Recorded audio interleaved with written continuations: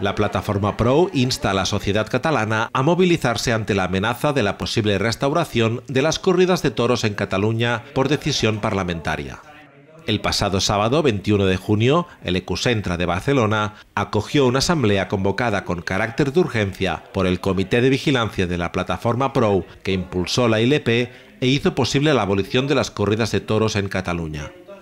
convocar a las fuerzas que formaron parte de Plataforma Pro para explicarles la realidad actual, para explicarles que hay un serio peligro de que si se vuelven a autorizar corridas de toros en las ganaderías en Terras del Ebro, no va a pasar mucho tiempo en que tengamos corridas sin muertes en la Monumental de Barcelona. El motivo de la convocatoria fue la resolución que en fecha 4 de junio la Comisión de Agricultura del Parlamento aprobó para solicitar al Gobierno la regulación de los espectáculos de toros sin sangre que ya son celebrados en recintos de ganaderías de las tierras del Ebro, dirigidos al turismo, especialmente al ruso. Este tipo de espectáculos presentados como tientas, pruebas en las que los toros son sometidos para determinar si tienen suficiente bravura para la lidia, podrían convertirse en el primer paso en el proceso para restaurar las corridas de toros en Cataluña.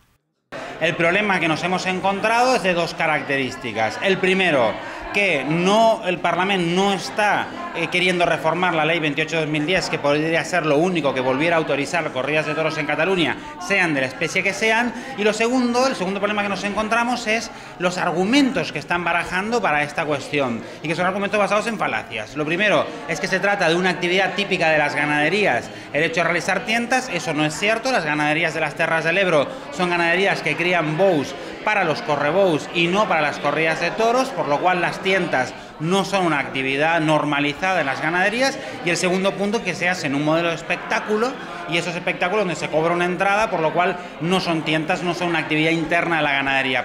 Ens hem organitzat mitjançant assemblees per tal de traçar una estratègia i unes línies de treball en comú. El que hem fet és un, bueno, un mini treball d'investigació d'aquestes promotores de turisme que realitzen aquests viatges a les ramaderies. Hem descobert que han descartat les ramaderies de les Terres de l'Ebre perquè està tot en procés i ara ho han traslladat a, una, a unes ramaderies de Castelló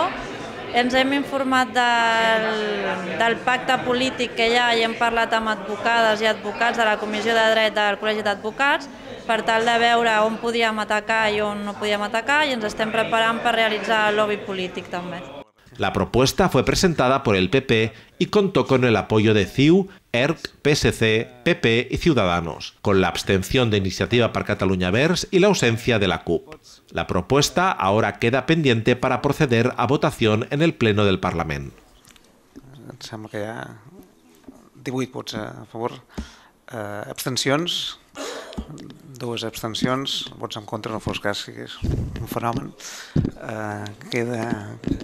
no hi ha cap vot, per tant quedaria aprovat aquest punt. Estem totalment en contra de les tientes i estem totalment en contra que es vulgui regular i obrir aquesta porta a que hi hagin eh, corrides o simulacions. Estem en contra dels correbous també, també ens oposem a que uns ramaders de Terres de l'Ebre, com és el cas, eh, obrin unes tientes i facin un tipus de turisme que estem totalment en contra. La asamblea fue convocada para explicar la nueva situación política a las entidades que apoyaron la plataforma PRO y empezar a emprender nuevas movilizaciones ciudadanas como la misma restitución de la plataforma, la elaboración de un argumentario para contrarrestar el presentado por el lobby taurino y empezar a visitar las diferentes fuerzas políticas con representación parlamentaria con el fin de demostrar que los argumentos taurinos son falsos.